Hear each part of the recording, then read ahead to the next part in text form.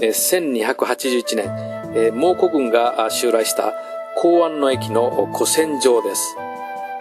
この公安の駅では、元と高麗軍を主力とした14万人余りの兵力が軍船4400艘に乗ってやってきたというんですね。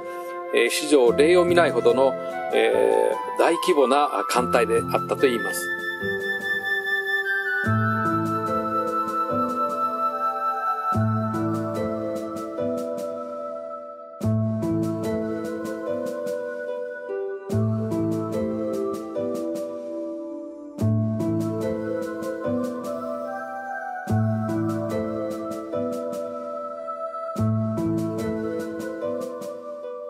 壱岐島の最北端の港、勝本湖の北にあるイルカパークにやってきました。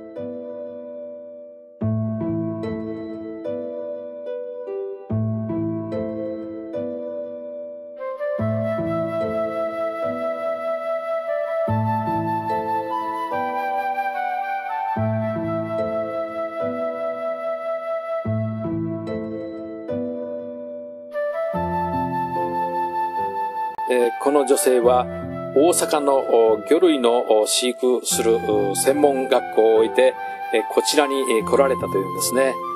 今はどちらで頑張っておられるでしょうか？